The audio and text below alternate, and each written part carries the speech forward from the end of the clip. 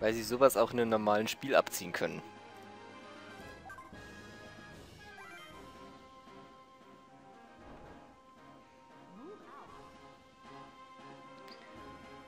Dann mal ab zur nächsten Mission. Beim nächsten Klon. Der übrigens niemand geringerer ist als unser Lieblingssamurai. Standby. Oh ja. So. Wir haben hier zwei Fronten. Und die zweite Front, auf der brauche ich ihn. Den guten Sir Xavier von Green Earth. Und zwar vor allem mit diesem Skill. Weil wenn ich ihn benutze, dann hat er sowieso, dann brauche ich seine Com-Towers. Und da unten, so, da haben wir jetzt zwei Möglichkeiten. Wir können auf Nummer sicher gehen und Grid mitnehmen oder wir können die lustige Variante nehmen und benutzen Rachel. Was ich jetzt eher bevorzugen würde. Äh, Was nehmen wir denn hier noch mit? Der schadet eh nie paar Einheiten produzieren können wir hier ja.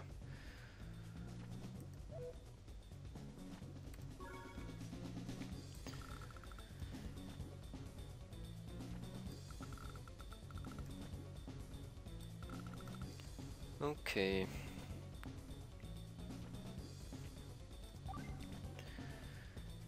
Wir probieren das jetzt einmal mal so.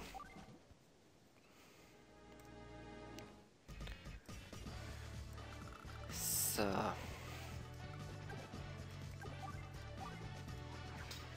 Dann fangen wir mal an zu schießen.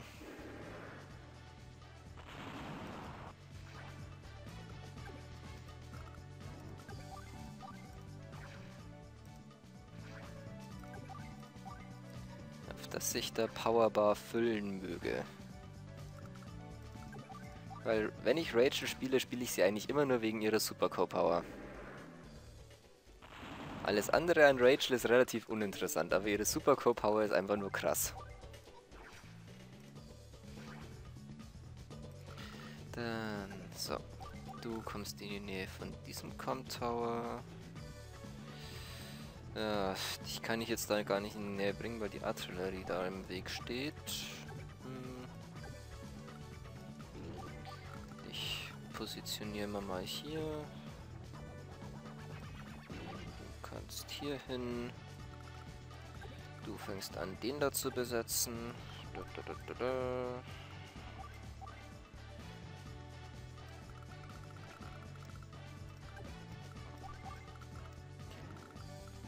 so, dann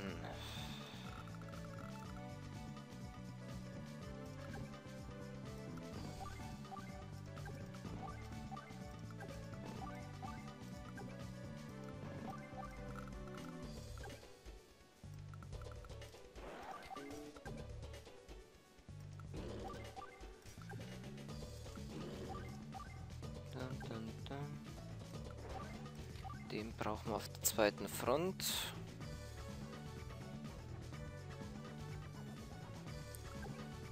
Den brauche ich da oben.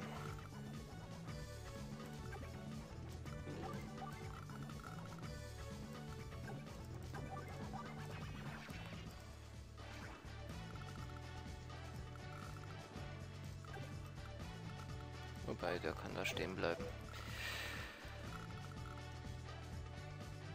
Ich brauche jetzt nur... Ja. Bisschen Glück, dass er nichts Dummes anstellt.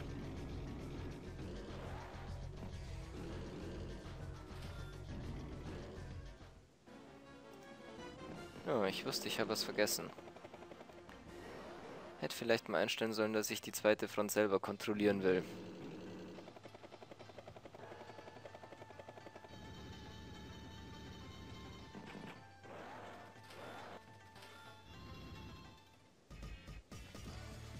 Das könnte jetzt spannend werden. Hm.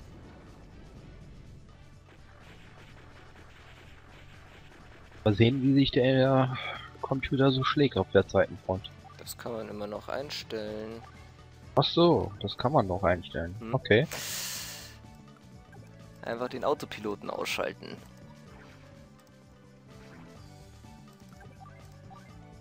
Meinst du, der hält sich nicht so gut an? So,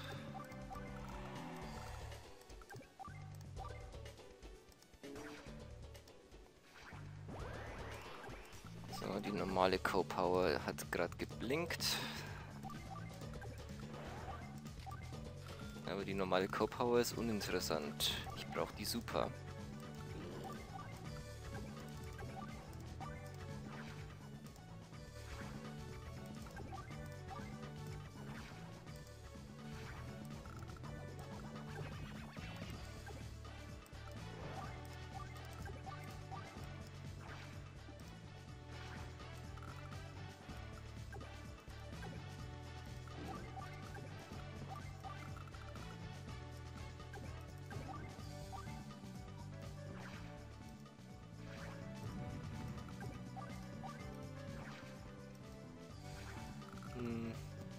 Bei genauerer Überlegung, ich brauche das Ding da oben.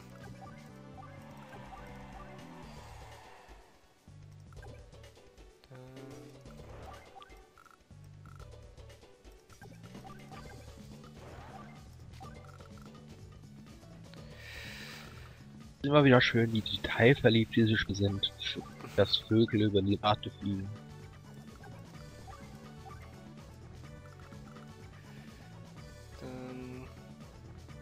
Feuer!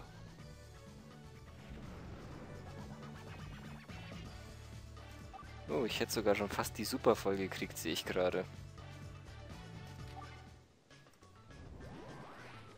Aber er hat seine Super voll. Na gut, die macht mir jetzt eh nichts aus. Seine Super ist relativ harmlos.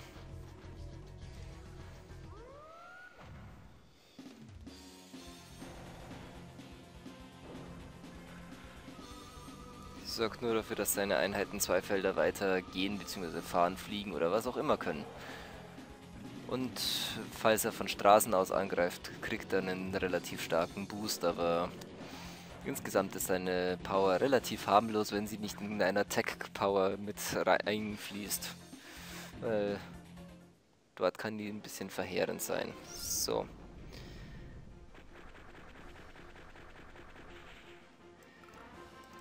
Ich Hallo, was war das? Ah, der Vulkan. Das war der Vulkan, ja. Ich brauche erstmal hier einen kleinen taktischen Rückzug. Die müssen sich mal ein bisschen besser formieren.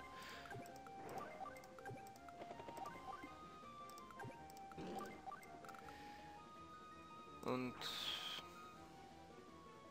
ja, ich habe zwei Com-Towers mit Javier. Das sollte erstmal genug sein, um Kanbei zumindest einigermaßen ebenbürtig zu sein.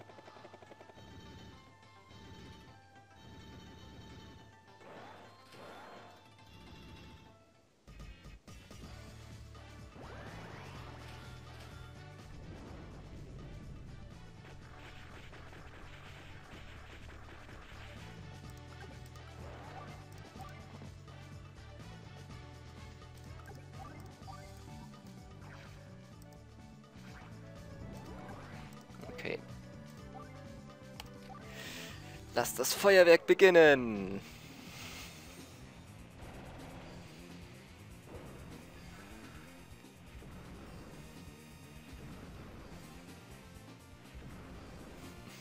Ich liebe diese Super Co-Power.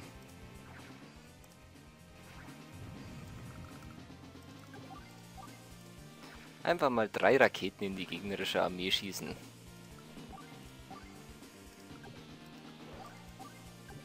Ja.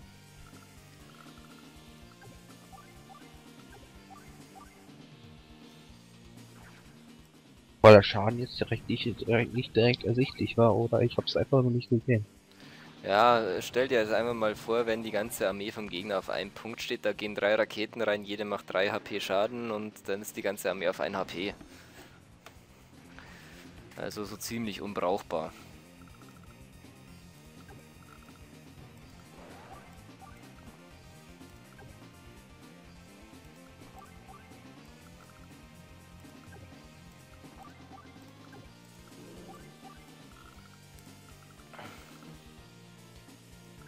Ich glaube, den schicke ich ihm auch mal lieber zurück. Ich bin mir noch nicht sicher.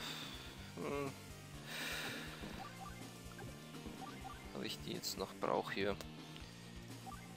So. Auf jeden Fall komm, machen wir hier jetzt erstmal Ende. Der Hauptteil seiner Armee ist schon sehr stark beschädigt. Ich muss übrigens hier nur die erste Front gewinnen, hier unten. Die obere Front, die gibt lediglich einen taktischen Vorteil. Weil der Gewinner mit zwei Kurs weiterspielen darf.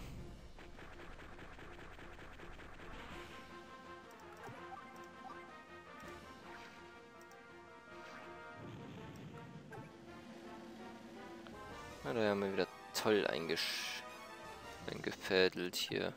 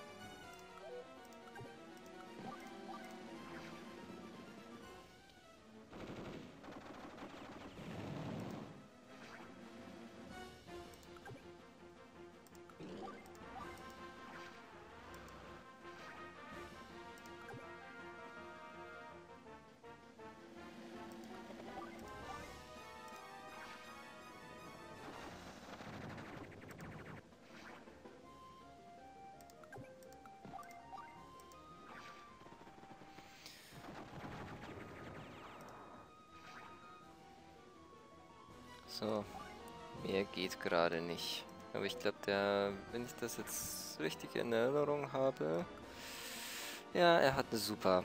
Das wird böse. Sehr böse. Ich weiß nicht, ob ich die zweite Front hier gewinnen kann, aber es...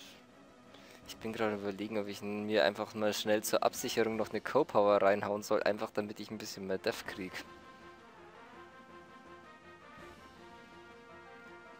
Ich habe momentan zwei Com Towers. Mit einer Co-Gabe komme ich damit auf eine Def von 160. Kriege ich nur noch 40% vom normalen Schaden, aber allein wegen dieser Missile hier kriegt er mir schon wieder die halbe Armee kaputt. Ich mag diese Black Bombs nicht. Am liebsten würde ich eine Super reinhauen, da wäre ich nämlich mal eine Runde lang unverwundbar.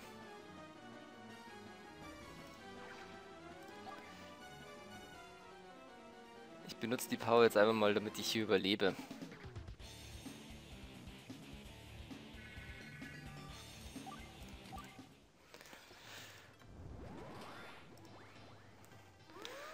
Und jetzt kommt er mit seinem absoluten Killer-Move.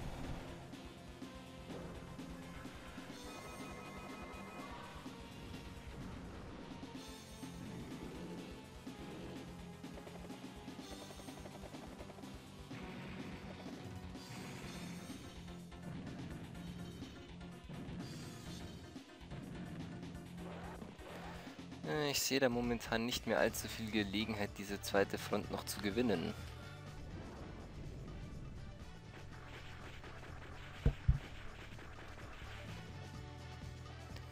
Aber es ist ja auch nur die zweite Front, also... Solange ich ihm die Armee da oben auseinandernehmen kann, habe ich eigentlich auch nicht wirklich allzu viel zu befürchten.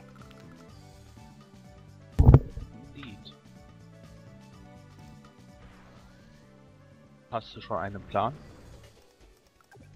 Wie du dieses Ziel äh, erfüllen willst? Ja, momentan ist mein Plan, ihm die Armee Stück für Stück auseinanderzunehmen.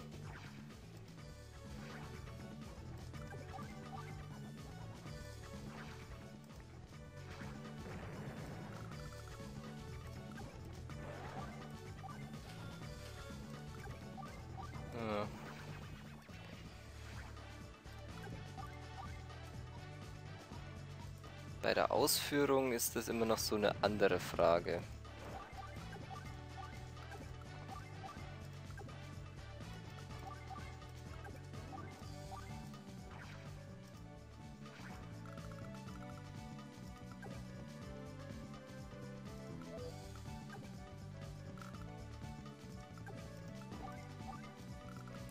Hm, bin gerade überlegen, ob es überhaupt was bringt, ob ich ihm jetzt noch äh, die Flak-Einheit darüber schicke. Aber der hat noch, der hat noch zwei, na, drei Bomber. Also einer ist fast tot, aber die Tatsache, dass er da oben noch einen Tank hat, das macht das Ganze auch nicht unbedingt viel besser. Außerdem hat er hier noch einen wunderbaren Megatank. Ich krieg den da oben eh nicht mehr tot. Ich glaube, die zweite Front kann ich hier ziemlich aufgeben. Ich behalte die Einheiten dann lieber hier unten noch, damit ich da noch ein bisschen was habe.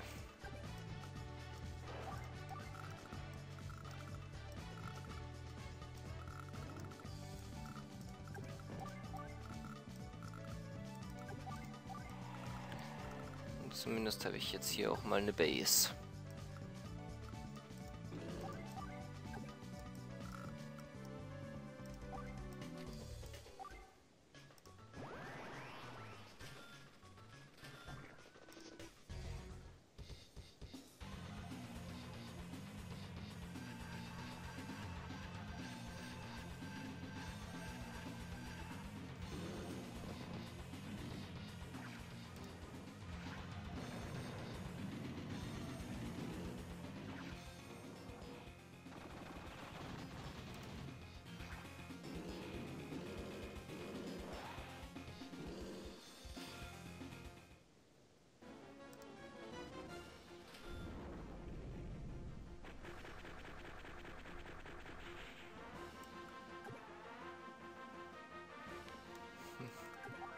Ich erwische nicht mal was mit meinen Missile-Einheiten. Das ist ja ganz toll. Kann ich genauso gut Selbstmord beginnen jetzt. Ist ja eh egal, was ich angreife. Der hat einen Samurai-Spirit drin. Ach, der läuft noch. Ja, der läuft immer bis, bis er wieder dran ist.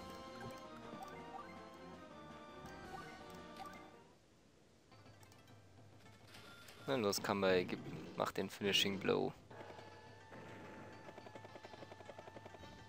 Oh, er macht ihn nicht mal. Na, wenn ich ihn da oben noch ein bisschen aufhalte... Warum nicht?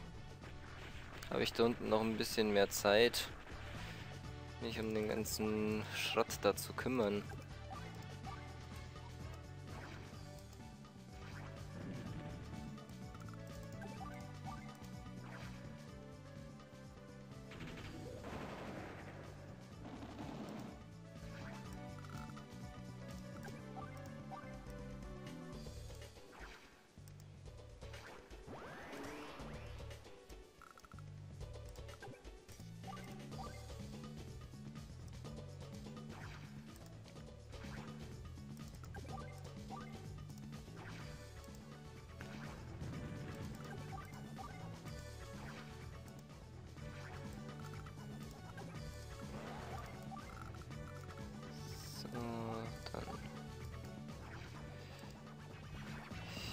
Medium Tank aus dem Weg räumen.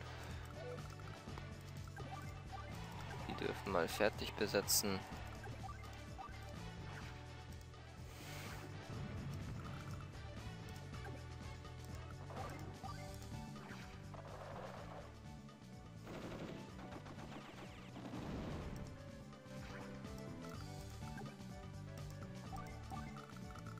Wenn ich ein bisschen Glück habe, kriege ich den Flughafen da unten sogar noch.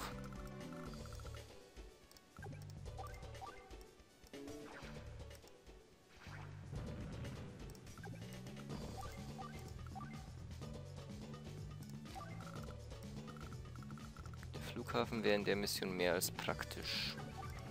Ja, was würdest du denn ausbilden?